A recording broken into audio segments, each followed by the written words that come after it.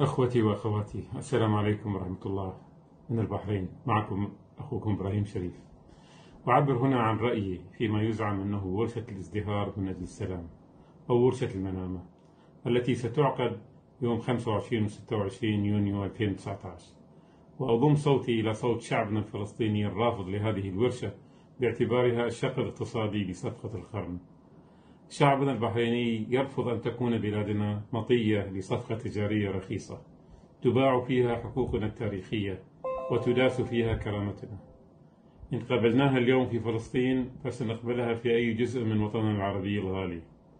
هذه محاولة مكشوفة بالتطبيع مع العدو وإطفاء الشرعية على الاحتلال وسرقة الأوطان وهي ليست المرة الأولى التي تسمح فيها حكومتنا بدخول صهاينة بذرائع مختلفة رياضة تجارة تسامح ديني وغيرها من الذرائع.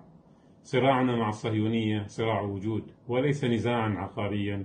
ينتهي بصلح وتعويض مالي ندفعه من جيوبنا وبشهود نزور عرب الأرض الوطن الكرامة هي أشياء لا تشترى.